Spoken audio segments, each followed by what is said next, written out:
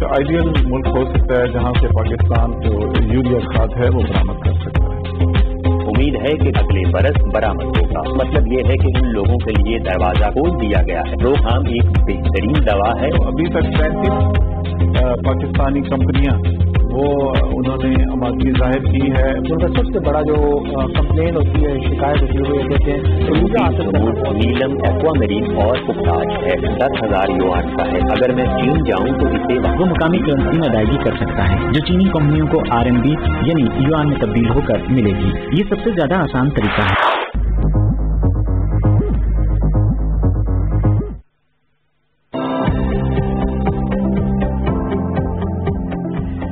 السلام علیکم اور تمام ناظرین کو سی پیک ٹائم میں خوش آمدید۔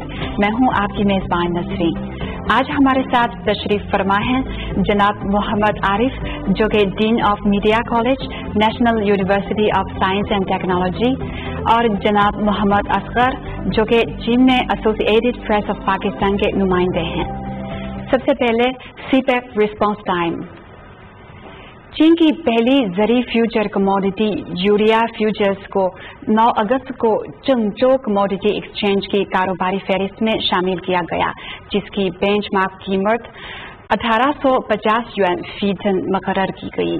اعداد و شمار کے مطابق سن دو ہزار نو سے ہر سال یوریا کی قیمت میں تقریباً بیس فیصد سے زیادہ کا ادار چڑھاؤ دیکھنے میں آ رہا ہے۔ کیا آپ کے خیال میں ایکسچینج مارکیٹ میں یوریا فیوچرز کی آمد یوریا کی قیمت پر قابو پانے پر کس طرح اثر انداز ہوگی؟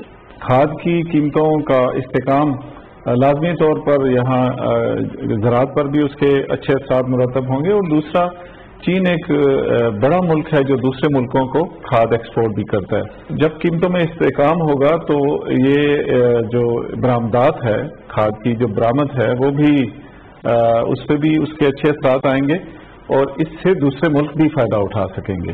یوریا چین میں سب سے زیادہ مقدار میں پیدا ہونے والی کھاد ہے۔ پچھلے سال چین میں یوریا کی پیداوار، نائٹروجن کی کل پیداوار کا سڑسٹھ فیصد حصہ تھی اور چین میں تمام کھاد کی کل پیداوار کا تقریباً بیالیس فیصد تھی۔ ان اعداد و شمار کی روشنی میں آپ کے خیال میں یوریا فیوچر کے زراعت اور کاشتکاروں پر کیا اثرات مرتب ہوں گے؟ جب ایک چیز کی پروڈکشن بہت زیادہ ہو جائے گی، ایک چیز کی کم ہو جائے گی ڈیمانڈ اینڈ سپلائی میں ویریشن ہوتی رہے گی، جس جس سے آپ کی جو فارمرز ہیں، جو آپ کی جو ایگریکلچر انڈسٹری ہے، اس پہ نیگیٹو اثرات بھی ہو سکتے ہیں۔ مثال کے طور پر اگر آپ میں آپ کے چائنا میں رائس کی جو ہے کم ہو جاتا ہے یا ویٹ کی پروڈکشن کم ہو جاتی ہے، تو اس تو اور اس کا ساتھ فرٹیلائزر پہ بھی اثرات ہوں گے۔ تو یہ فلیکچویشن آتی رہے گی۔ اس کا ایک خاص میکنزم اگر بنے، جو کہ اس کو کنٹرول کرے اور ایک ریگولیٹ ہو کر تاکہ کسان جو اس سے متاثر نہ ہو اور آپ کی ایگریکلچر اس سے متاثر نہ ہو۔ یوریا کھاد جو ہے، یہ بڑا ایک اہم سیگمنٹ ہے زراعت کے لیے۔ اور اگر اس کی قیمتوں میں استحکام آئے گا، تو جو پیداواری لاگت ہے جو زراعت کی پیداوار کے لیے، اس میں بھی استحکام آئے گا۔ اور اس کا اثر پھر باقی جو منڈی میں جو زراعت کی اشیاء ہیں اور جو پھل ہیں اور یا دیگر چیزیں ہیں، اس پر بھی اس کا اثر آئے گا۔ تو میں یہ سمجھتا ہوں، یہ ایک بڑا اچھا قدم ہے۔ اس سے جو زراعت کی جو پروڈکٹس ہیں، ان کی قیمتوں میں استحکام آئے گا اور اس کا لوگوں کو بہت زیادہ فائدہ بھی ہوگا۔ پاکستان چین سے کھاد درامد کرنے والا ایک بڑا ملک ہے اور ہر سال چین سے بڑی مقدار میں یوریا خریدتا ہے۔ لیکن حالیہ دنوں دیکھا گیا ہے کہ پاکستان میں کھاد کا وافر ذخیرہ موجود ہے اور اس کی بیرونی طلب میں کمی آئی ہے۔ عارف صاحب، کیا آپ ہمیں بتا سکتے ہیں کہ پاکستان کی جو کھاد کی صنعت، اس کی موجودہ صورتحال کیسی ہے؟ اور، آئندہ چین اور پاکستان کے درمیان کھاد کی تجارت کو آپ کیسے دیکھتے ہیں؟ اگر اس میں پاکستان کے ساتھ جوائنٹ وینچرز کیے جائیں اور چائنا کی جو ٹیکنالوجی ہے، جو پریکٹسز ہیں ایکسپیرینس ہے، وہ وہاں پہ آئے، تو دونوں ممالک کو فائدہ ہوگا اس میں۔ اور اگر صرف اور صرف امپورٹ کی بات کی جائے، کہ چائنا سے امپورٹ کر لیا جائے، تو پاکستان ابھی اس کنڈیشن میں نہیں ہے امپورٹ کرنے کی کنڈیشن میں نہیں ہے، کیونکہ پاکستان کی جو فائنینشیل کنڈیشن ہے، وہ بھی ویک ہے۔ اور آلریڈی ہماری انڈسٹری جو ہے فرٹیلائزر انڈسٹری کے جو لوگ ہیں، وہ اس کے مخالف ہوں گے، کیونکہ آلریڈی ان کی مناپلی وہاں پہ موجود ہے۔ پاکستان میں جو موجودہ کھاد پیدا کرنے کی جو استعداد ہے وہ تقریباً پانچ ملین ٹن سے تھوڑی سی زیادہ ہے۔ جبکہ جو ڈیمانڈ ہے وہ چھ ملین ٹن سے بھی زیادہ ہے۔ تو اس میں تقریباً ایک ملین ٹن یا دس لاکھ ٹن کا اس میں گیپ ہے۔ تو جس کو پورا کرنے کے لیے پاکستان کو امپورٹ کرنی پڑتی ہے، لیکن اور چین جو ہے وہ سب سے ایک آئیڈیل ملک ہے جہاں سے پاکستان امپورٹ کرتا ہے اور تقریباً ہر سال پاکستان پانچ سو ملین ڈالر کی کھاد جو ہے وہ دوسرے ملکوں سے درآمد کرتا ہے۔ تو لیکن جیسا ابھی عارف صاحب نے فرمایا، پاکستان کے اندر بھی بہت زیادہ کھاد بنانے کے کارخانے پہلے سے کام کر رہے ہیں۔ ابھی جو موجودہ حکومت نے اس طرح بڑی توجہ دی ہے۔ کچھ کارخانے جو ماضی میں بند ہو گئے تھے گیس کی فراہمی نہ ہونے کی وجہ سے یا دیگر وجوہات کی وجہ سے، تو ان کو دوبارہ فعال کیا گیا ہے، وہ دوبارہ کام کرنے لگے ہیں۔ لیکن سٹل چونکہ پاکستان سب دنیا میں جو دس بڑے ملک ہیں گندم پیدا کرنے والے، ان میں ایک ہے۔ اور پاکستان تقریباً چوبیس سے پچیس ملین ٹن جو سالانہ صرف گندم پیدا کرتا ہے۔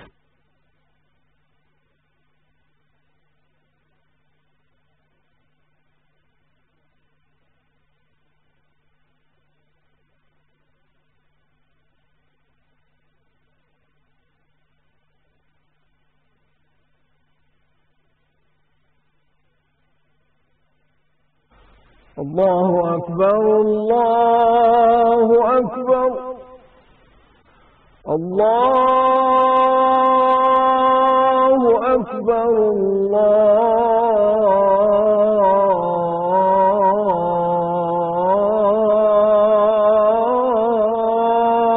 الله أكبر. أشهد أن لا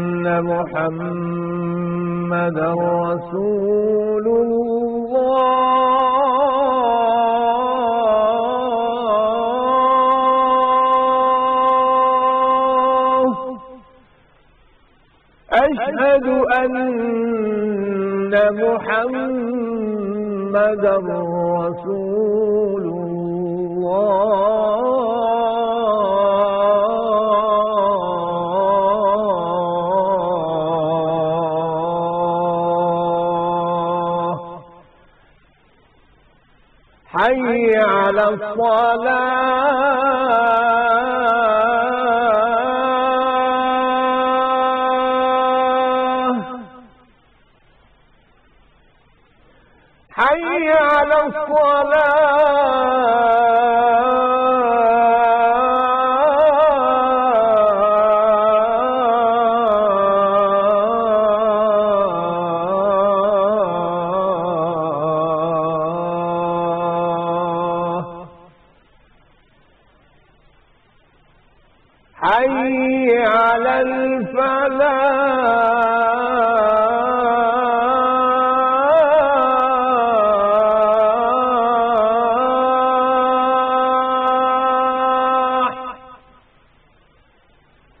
حي على الفلاح.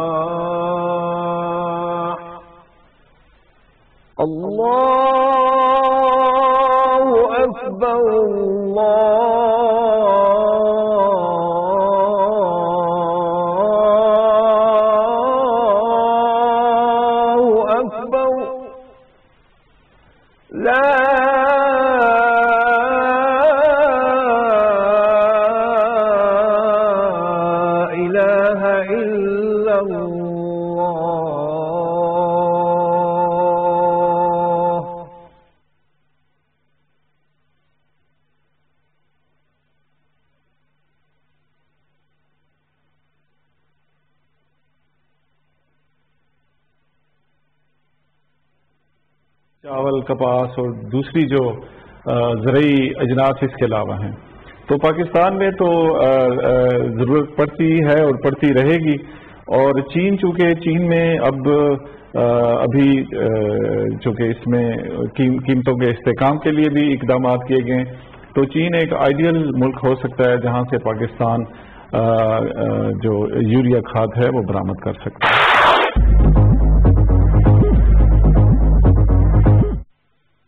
چین دنیا کے سب سے بڑے گوشت برآمد کرنے والے ممالک میں سے ایک ہے۔ پاؤں اور منہ کی بیماری والے مسائل کی وجہ سے پاکستانی گوشت نے چینی مارکیٹ تک رسائی حاصل نہیں کی۔ حال ہی میں چین کی عام انتظامیہ کی کسٹمز اور جانوروں کے لیے کرنطینہ نے وزارت پاکستان اور تحقیق میں مفت ایف ایم ڈی علاقے کی تعمیری ضروریات کی تفہیمی یاداشت پر دستخط کیے۔ یہ رپورٹ کیا گیا ہے کہ گوادر اس طرح کے علاقے کو قائم کرے گا۔ کیا یہ منتقلی ممکن ہے؟ اس مقصد کے لیے چین اکنامک نیٹ کے رپورٹر نے متعلقہ شعبوں سے تعلق رکھنے والے چند افراد کا انٹرویو کیا۔ دیکھتے ہیں کہ ان کے اس معاملے میں کیا خدشات ہیں۔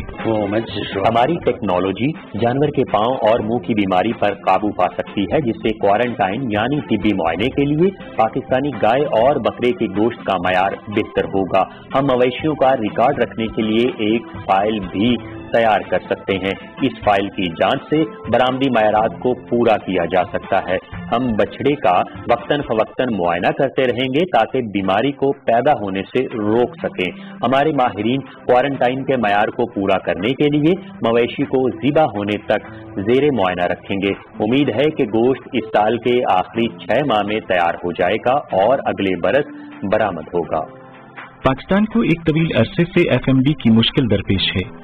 کچھ شکی آوازیں پاکستانی گوشت کی برآمدات کے بارے میں سنی جا سکتی ہیں۔ جانور کے پاؤں اور منہ کی بیماری سے پاک زون قائم کرنے کی بات کرنا تو آسان ہے جبکہ عملاً ایسا کرنا مشکل ہے۔ کیونکہ پاکستان میں پاؤں اور منہ کی بیماری تقریباً پورا سال پھیلتی رہتی ہے۔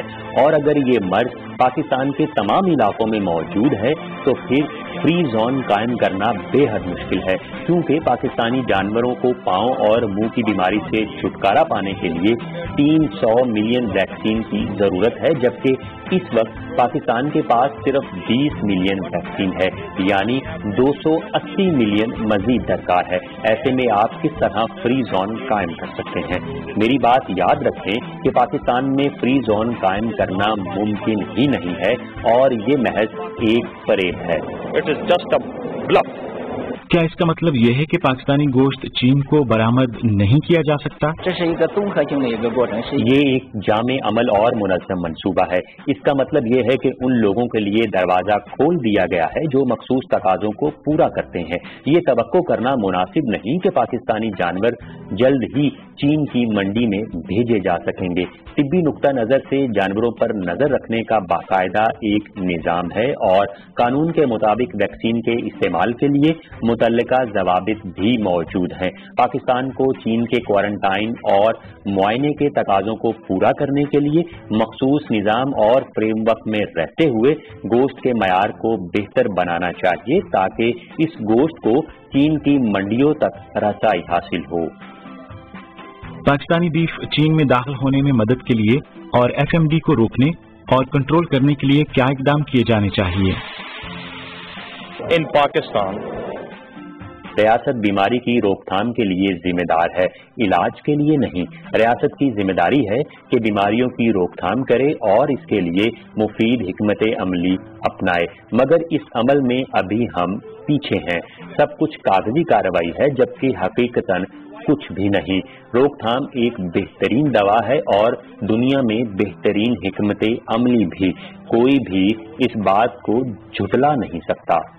پاکستان میں گزشتہ اکہتر برس کے دوران اب تک کی تمام حکومتیں مویشیوں کے لیے ایک بھی مقامی ویکسین پروڈکشن یونٹ قائم نہیں کر سکیں۔ آپ صرف ویکسین کے ذریعے پاکستان میں ایف ایم جی کنٹرول کر سکتے ہیں۔ پاکستان کو سال میں دو بار ایف ایم جی کے لیے جانوروں کی ویکسین کرنا ہے، کیونکہ ایک بار کی ویکسین چھ ماہ کے لیے جانوروں کو محفوظ رکھ سکتی ہے۔ وہ ان کسانوں کو آگہی فراہم کر سکتے ہیں جنہوں نے جانور پال رکھے ہیں۔ خوراک کو بیماریوں سے محفوظ بنانا اولین ترجیح ہے۔ چین اور پاکستان کا باہمی تعلق خاص کتنا ہی اچھا کیوں نہ ہو لیکن انسانی زندگیوں سے متعلق مسائل کے حوالے سے اصولوں کی پاسداری کی جانی چاہیے۔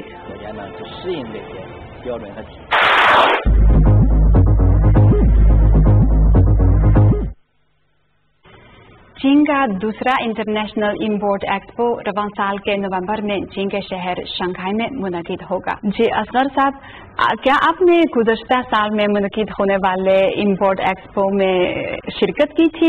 اور اس سال پاکستان میزبان ممالک میں سے ایک تھا۔ تو آپ کی معلومات کے مطابق اس ایکسپو میں شریک پاکستانی داجروں کو کیا فوائد حاصل ہوئے تھے؟ ہاں جی میں خود تو نہیں جا سکا تھا کچھ مصرفیات کی وجہ سے، لیکن میں نے اس کو بڑا فالو کیا کلوزلی پاکستان میں جو کھیلوں کھیلوں کا سامان بنانے کے مختلف ادارے ہیں اور جو طبی آلات بنانے کے ادارے ہیں، اور اس کے علاوہ گارمنٹس، کراچی سے خاص طور پر کمپنیاں آئی تھیں، جو گارمنٹس بنانے میں جو بہت مشہور ہیں، انہوں نے وہاں اپنی اشیاء نمائش میں رکھی اور انہوں نے بہت سارے کانٹریکٹ بھی سائن کیے۔ تو سکس اراؤنڈ تھری ٹریلین کے ڈالرز کے قریب کی ایک مارکیٹ ہے۔ اگر آپ اچھی پروڈکٹ بنانے والے ہیں کوالٹی پروڈکٹ بنانے والے ہیں سو come to the China so بہت سارے پاکستانی جو مینوفیکچررز ہیں اسپیشلی جو ہماری فرنیچر انڈسٹری ہے، جو میٹل انڈسٹری ہے اسمال انڈسٹریز کے لوگ ہیں جو کراچی، لاہور چنیوٹ میں کام کرتے ہیں۔ ان لوگوں کے لیے ایک بہت بڑا موقع ہے۔ چین کی دوسری بین الاقوامی امپورٹ نمائش میں پاکستانی ادارے اور پاکستانی تاجروں کی شرکت کی تازہ دری صورتحال کیسی ہے؟ جی بالکل، میں نے ابھی حال ہی میں معلومات لی ہیں جو متعلقہ افراد ہیں پاکستان میں بھی اور پاکستان امبیسی جو چین میں ہے، ان سے میں نے بات کی ہے۔ تو ابھی تک پینتیس پاکستانی کمپنیاں وہ انہوں نے آمادگی ظاہر کی ہے اور وہ جو اس کے لیے جو ریکوائرمنٹ ہے، اس کو پوری کر رہی ہیں اور وہ خوب تیاریاں کر رہے ہیں۔ سو یہاں جو کسٹمر کی ریکوائرمنٹ ہے، یہاں جو پروڈکٹ وہ کھاتے ہیں، پیتے ہیں، استعمال کرتے ہیں، ان کے بارے میں معلومات حاصل کریں اور ہماری حکومت کو چاہیے کہ وہ عوام تک یہ معلومات پہنچائے اور جو ہمارے جو ہمارے جو ادارے ہیں جو ایکسپورٹ کا کام کرتے ہیں، وہ جو مینوفیکچرر ہیں، ان کے لیے آگاہی کے پروگرام شروع کریں اور تاکہ یکچا ہو کر اس مارکیٹ تک ایکسیس حاصل کریں اور اس سے فائدہ اٹھائیں۔ جی دوسرا عالمی امپورٹ ایکسپو چند ماہ بعد منعقد ہونے والا ہے۔ آپ کے خیال میں رواں سال کے ایکسپو میں کون سے کون سی سہولیات کا اضافہ اور کون سے مسائل کو حل کیا جانا چاہیے؟ جہاں تک میرا خیال میں جو پاکستانی اگر تاجروں سے آپ ملیں تو ان کا سب سے بڑا جو کمپلین ہوتی ہے، شکایت ہوتی ہے، وہ یہ کہتے ہیں کہ ویزا حاصل کرنا بہت مشکل ہوتا ہے۔ تو یہ جو ایکسپو ہو رہی ہے، اس کے لیے اسپیشل ایک ون ونڈو شاپ بنائی جائے، جہاں سے ویزا آپ کو دیا جائے۔ اور دوسرا یہ ہے کہ ان کو گائیڈنس دی جائے۔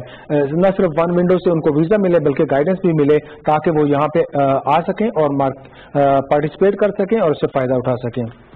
میرے خیال میں تو پاکستانی تاجروں کو ایک بڑا اچھا موقع ملے گا کہ یہ دوسرے جو امپورٹ ایکسپو ہے، جب وہاں آئیں گے، تو وہاں پہ وہ جب چائنیز تاجروں سے ملاقات کریں گے، تو وہ ان کو پتہ چلے گا کہ ان کی کیا ڈیمانڈ ہیں اور ان کو اپنی اشیاء کس معیار تک لے کے آنی ہے اور وہ ان کے ساتھ ان کی بات چیت میں ان کو بہت ایک ان کی راہ استوار کرنے میں ان کو بڑی مدد ملے گی۔ جی عارف صاحب آپ کے خیال میں رواں سال میں منعقد ہونے والی نمائش میں پاکستان زیادہ تر کن کن شعبوں سے متعلق مصنوعات نمائش کے لیے پیش کرے گا؟ جو ابھی جو ٹرینڈز نظر آ رہے ہیں، جو رجانہ باقی ایکسپوز میں ہوتا ہے، پاکستان کے زیادہ تر تاجر جو ہیں فرنیچر انڈسٹری میں لیدر میں یون میں، جیسا جیسکر صاحب نے کہا، یہ تین چار میجر ہیں، طبی آلند فش ہے فوڈ کی ہے، ابھی شہد کی بھی بات ہوئی تھی۔ تو چار پانچ ہماری رینج ہیں، ان میں ہم کرتے ہیں۔ لیکن ہمیں اس رینج کو بڑھانا چاہیے اور آپ تبھی بڑھا سکتے ہیں جب آپ کو مارکیٹ معلوم ہو کہ وہاں پہ کیا چیزیں ہیں۔ تو یہ ایک ایکسپو آپ کے لیے ایک گڈ لرننگ ہے۔ آپ یہاں پہ آئیں، اس میں حصہ لیں اور یہاں جانیں کہ یہاں چینی عوام جو ہے ان کی ضروریات کیا ہیں اور ان کے مطابق اپنی پروڈکٹ تیار کریں اور مارکیٹ کے لیے مارکیٹ کے ساتھ ایسوسیٹ ہو کے یہاں سے فائدہ اٹھائیں۔ تو میجر ہماری جو تاجر ہوں گے، وہ فرنیچر انڈسٹری سے ہوتے ہیں یا پھر یان سے یا لیدر انڈسٹری سے ہوتے ہیں۔ کیمیکل انڈسٹریز آلسو جی بالکل صحیح کہہ رہے ہیں۔ بے شمار شبہ جات ہیں۔ جس پر توجہ دینے کی ضرورت ہے، ابھی ہم نے شہد کے حوالے سے بات کی تھی۔ تو ایک اور شعبہ ہے گوشت کا۔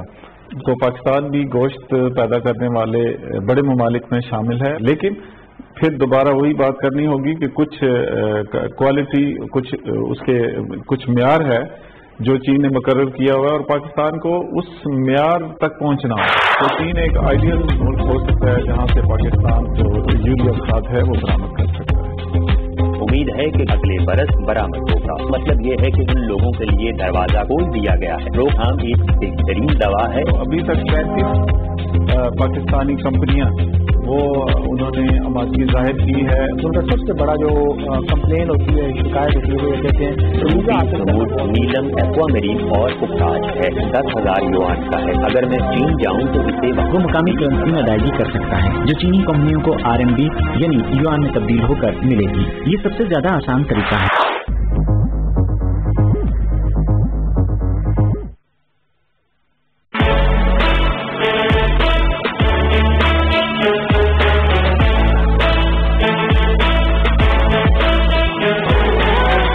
کون سی ایسی پاکستانی خاص مصنوعات ہیں جو کہ چین کی مارکیٹ میں ہاتھوں ہاتھ بکنے کی صلاحیت رکھتی ہیں؟ سی پیک کی صلاحیت میں اضافے کے لیے چائنا اکنامک نیٹ کے رپورٹرز کا گروپ شمالی پاکستان کے شہر گلگت پہنچا۔ جسے جواہرات سے مالا مال شہر بھی کہا جاتا ہے۔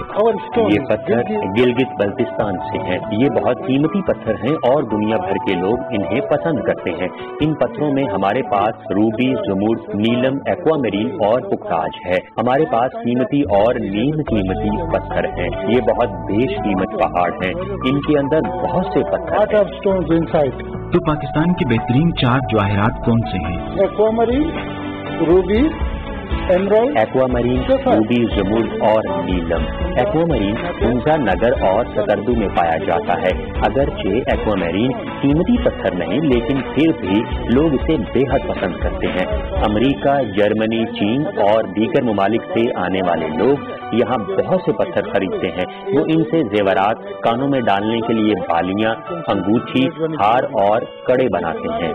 آپ دیکھ سکتے ہیں کہ یہ سرخ روبی ہے جو کہ اچھے معیار کا نہیں، یہ درمیانی معیار کا ہے۔ بہترین معیار کا روبی آنکھ سے صاف اور شفاف نظر آتا ہے۔ دس کیرٹ وزن کا ایک ٹکڑا ہوتا ہے، جس میں ایک کیرٹ کی قیمت دس ہزار ڈالر ہے، جبکہ اس ایک کیرٹ کی قیمت چار سو ڈالر ہے۔ ہمارے پاس سمود کی بھی مختلف قیمتیں ہیں۔ یہ شفاف ہے، لیکن رنگت میں قدرے کم دلکش ہے۔ یہ بیروز کا پتھر ہے۔ یہ ایک سو ڈالر کا ایک کیرٹ ہے۔ روبی زمور نیلم اور ہیرا چار ایسے قیمتی پتھر ہیں جو مہنگے ہیں، جبکہ پخراج بیروج اور ایکوامیرین اور دیگر پتھر نیم قیمتی پتھر ہیں۔ لیکن قیمت کا انحصار، معیار، رنگت، شفافیت اور سائز پر ہوتا ہے۔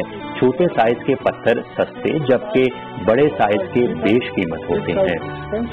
تو یہ پاکستانی جواہرات اور نیم قیمتی پتھر چین میں کیسے فروخت ہوتے ہیں؟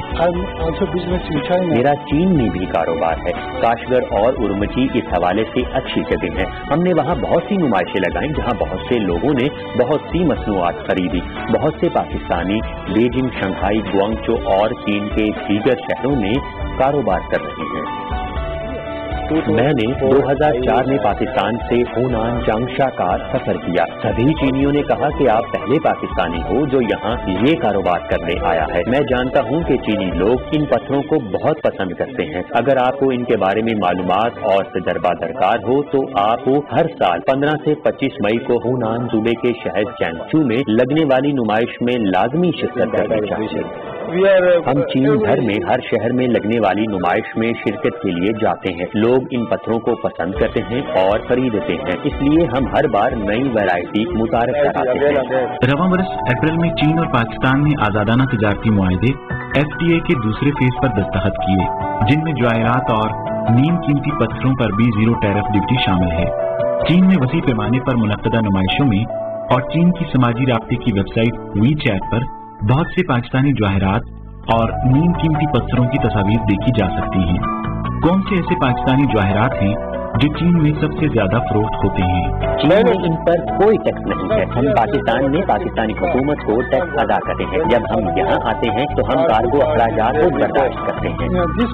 اس قسم کی مصنوعات صرف اس خطے میں گلگت بلتستان سے آتی ہیں۔ ہر طرح کے بیروج پتھر، حتیٰ کہ یہ چھوٹا سا بھی یہاں بہت بکتا ہے کیونکہ لوگ اسے پسند کرتے ہیں۔ اب یہ ٹکڑا دس ہزار یوان کا ہے۔ اگر میں چین جاؤں تو اسے وہاں بیس ہزار یوان میں بیچ سکتا ہوں۔ تمام چینی لوگوں کو پاکستانی جواہرات پسند ہیں میں اس سے قبل چینچو میں زیورات کی بڑی نمائش میں جا چکا ہوں وہاں ایسے بہت سے بڑے ترمری اور کوارٹز پتھر جمع تھے جو صرف پاکستان کے پاس ہیں یہاں لوگ روبی پتھر کو بھی پسند کرتے ہیں. افغانستان سے لایا جاتا ہے اور پاکستان میں تیار کیا جاتا ہے. Uh, ہمارے پاس کچھ نایاب معدنیات ہیں جیسا کہ سفید ویسوبینائٹ اور ٹینٹالائٹ جو کہ بہت ہی نایاب ہیں۔ میں نے ان کا چین کے علاقے ہونان میں لگنے والی بین الاقوامی معدنیات اور جواہرات کی نمائش میں ایک چھوٹا سا ٹکڑا دیکھا ہے۔ شروع میں ہم نے اسے بہت سستا بیچا، پھر مجھے کسی نے تھائی لینڈ میں بتایا کہ یہ بہت نایاب معدنیات میں سے ہیں۔ اگر تمہارے پاس مزید ہیں تو تم مجھے بیچ سکتے ہو۔ 这个是猫眼。اوول دیکھنے میں بہت اچھا ہے یہ نقلی نہیں ہے ان کے پتھر دوسروں سے بہتر ہیں کچھ افریقی لوگ نقلی پتھر بیچتے ہیں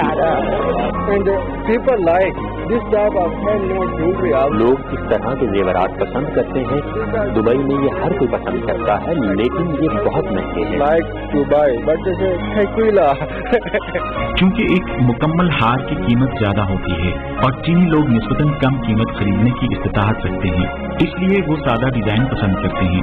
یہی وجہ ہے کہ پاکستانی جواہرات کے تاجر ہاروں کی مکمل تار کو چین میں بیچنے کے بجائے ایک ہی ہار میں تیار کرتے ہیں۔ ان فیوچر مستقبل میں ان پتھروں کو پیسے اور سونے کی طرح لیا جائے گا۔ پاکستان کے پاس بہت سے قدرتی وسائل موجود ہیں۔ اب بہت ساری چینی کمپنیاں صوبہ بلوچستان میں کام کر رہی ہیں اور وہ مختلف قسم کے پتھر جیڈ اور معدنیات نکال کر لا رہی ہیں۔ ان معدنیات کے باعث پاکستان کا مستقبل روشن ہے۔ Pakistan have a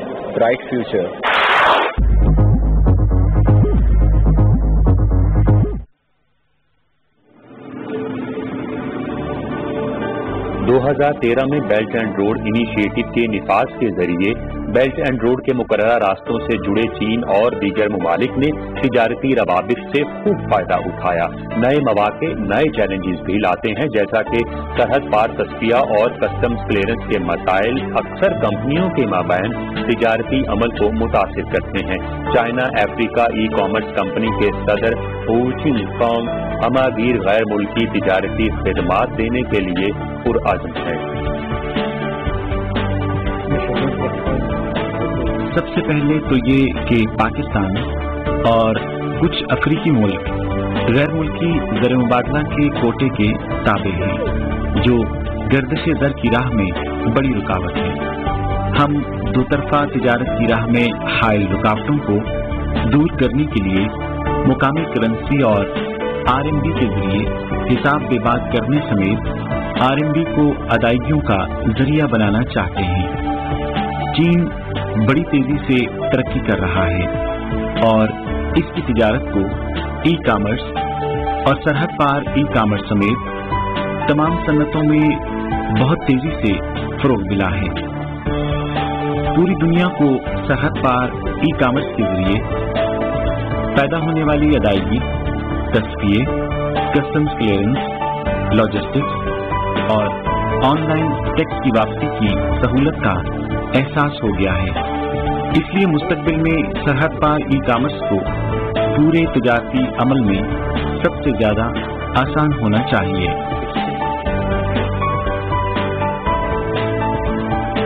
غیر ملکی تجارتی خدمات کے لیے ایک وسیع پلیٹ فارم کے طور پر C A dash B two B dot com درآمد اور برآمد کنندہ دونوں کو آن لائن دستخط، ادائیگی کسٹمز کلیئرنس اور زر مبادلہ کے تصفیے وغیرہ کے لیے ایک آپریٹنگ پلیٹ فارم مہیا کرتا ہے۔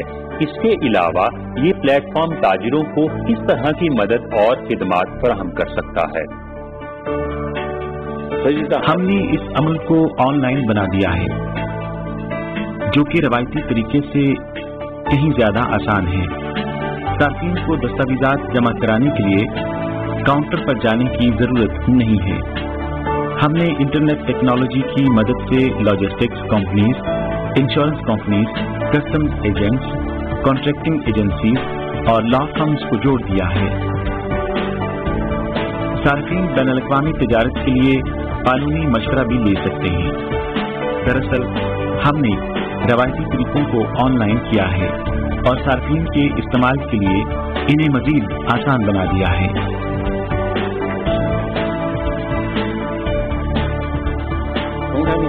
خریداروں کی رجسٹریشن مفت ہے اور پاکستانی کاروباری ادارے مال خریدنے والوں کے لیے مصنوعات سے متعلق ضروری معلومات شائع کرنا چاہیں تو ہمارے پلیٹ فارم پر مفت رجسٹریشن کرا سکتے ہیں۔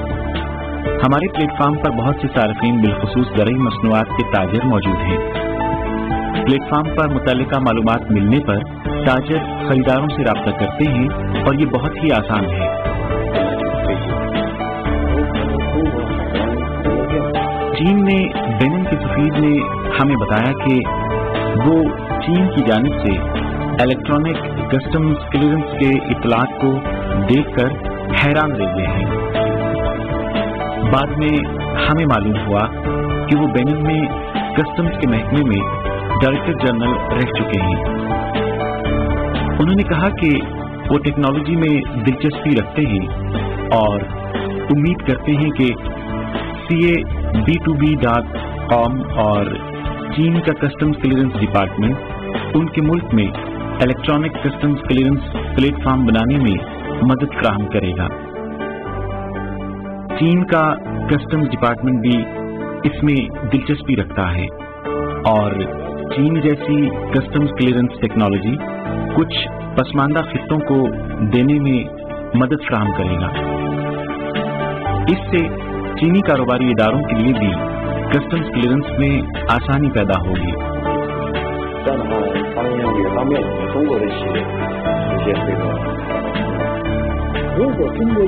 اگر چین کا یونین پے ادائیگیوں کا سسٹم پاکستان میں رائج ہوتا ہے، تو مستقبل میں پاکستان کی چین کے ساتھ تجارتی مختلف جہتیں سامنے آ سکتی ہیں۔